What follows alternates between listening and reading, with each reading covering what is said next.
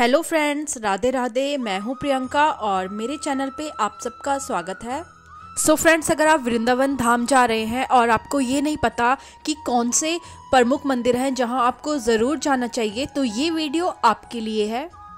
तो आज की इस वीडियो में मैं आपको वृंदावन धाम के 10 प्रमुख मंदिरों के बारे में बताने वाली हूँ। वैसे तो कहा जाता है कि वृंदावन में 5000 से भी ज़्यादा मंदिर है, लेकिन आज की इस वीडियो में मैं आपको वृंदावन के 10 फ़ेमस मंदिरों के बारे में बताऊँगी।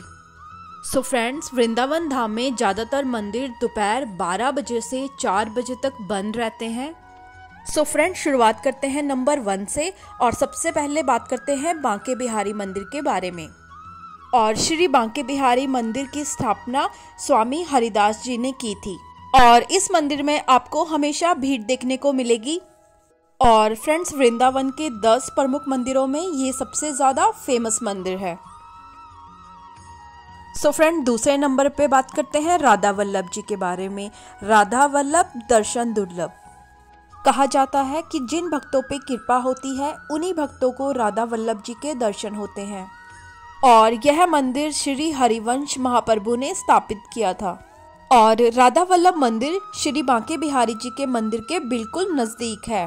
और यह वही मंदिर है जहाँ पे श्री कृष्ण राधामयी हो जाते हैं। श्री कृष्ण में राधा और राधा में श्री कृष्ण नज़र आते हैं। सो so फ्रेंड्स अब हम बात करेंगे अपने तीसरे प्रमुख मंदिर के बारे में, जो कि है निधिवन। दोस्तों, निधिवन वह स्थान है जहाँ पे हर एक टूरिस्ट दर्शन करने ज़रूर आते हैं। दोस्तों, निधिवन एक अलौकिक और पवित्र स्थान है। कहते हैं कि आज भी अर्धरात्रि के बाद भगवान श्री कृष्ण और राधा रानी जी यहाँ पे रास रचाते हैं और बाद में निधिवन परिसर में स्थापित रंग महल में विश्राम भी करते हैं। दोस्तों आपको पता होगा कि यहाँ पे रात में प्रवेश करना वर्जित है और यहाँ पे आप 16,108 तुलसी के वृक्षों को देख सकते हैं।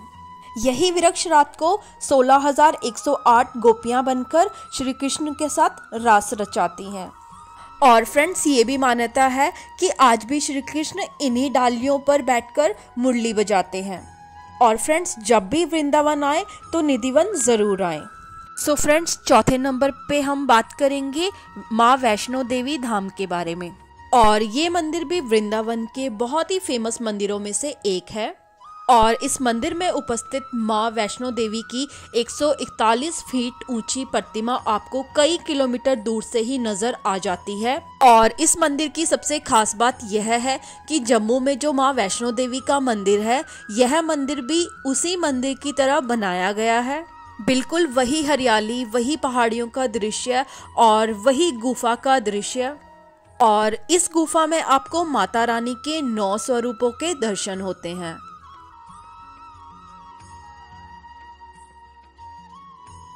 दोस्तों, आप इस मंदिर की भव्यता और सुंदरता को देखकर दंग रह जाएँगे। बहुत ही ज़्यादा खूबसूरती के साथ इस मंदिर को सजाया और बनाया गया है। तो दोस्तों, जब भी आप वृंदावन धाम आए, माँ वैष्णो देवी के मंदिर ज़रूर आए और इस मंदिर को मिस ना करें।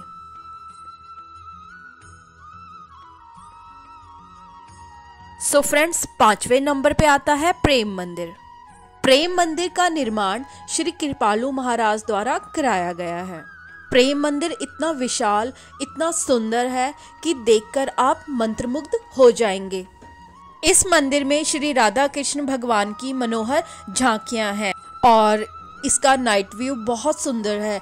रात में यह मंदिर बहुत सुंदर लगता है और हर तीस सेकंड में इसका कलर चेंज होता है। सो so फ्रेंड्स शाम को यह मंदिर आपको बहुत सुंदर लगेगा क्योंकि लाइट्स में तो यह मंदिर बहुत सुंदर लगता है।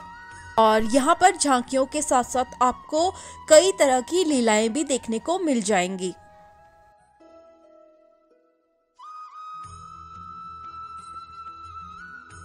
चलिए दोस्तों, अब हम लोग बात करते हैं अपने छठे मंदिर के बारे में। सिक्स नंबर पे हम बात करेंगे स्कॉन टेंपल के बारे में। यह मंदिर भी वृंदावन की खूबसूरत मंदिरों में शामिल है। और इस मंदिर को स्कॉन सोसाइटी के द्वारा बनाया गया है। श्री श्री प्रभुपाद जी द्वारा स्कॉन सोसाइटी की स्थापना की गई थी, जो कि पूरे संसार को भगवान श्री कृष्ण की भक्ति और भगवत गीता से जोड़ रही है। दोस्तों, यह मंदिर बहुत ही खूबसूरत शैली में बना हुआ है और यहाँ पर आपको बहुत से विदेशी भक्त देखने को मिलेंगे, जो हरे कृष्णा, हरे रामा की धुन पर गाते, नाचते और गुनगुनाते मिलेंगे। सो so फ्रेंड्स जब भी आप वृंदावन आए तो यहाँ पर ज़रूर आए। यहाँ पर आपको बहुत ही ज़्यादा शांति और सुकून मिलेगा।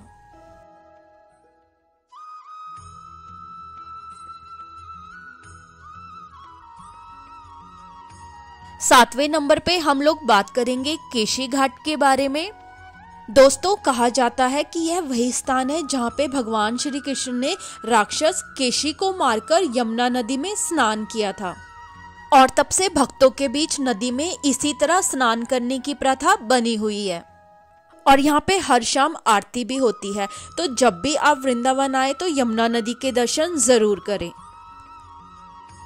दोस्तों, आठवें नंबर पे हम बात करेंगे श्री प्रियकांत जू मंदिर के बारे में, जिसे लोटस टेंपल भी कहा जाता है। और प्रियकांत जू मंदिर श्री राधा रानी एंड भगवान श्री कृष्ण जी को समर्पित है। और इस मंदिर का नाम प्रिया, श्री राधा रानी और कांत, भगवान श्री कृष्ण जी हैं। और यह मंदिर कमल के फूल की तरह बना हुआ है और इस मंदिर की ऊंचाई 125 फीट है। और यह मंदिर माता वैष्णो देवी मंदिर के नज़दीक है।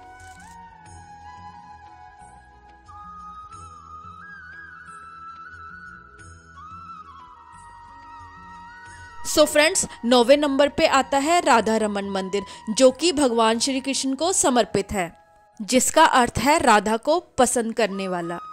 और राधा रमन मंदिर वृंदावन में सबसे आधुनिक हिंदू मंदिरों में से एक है।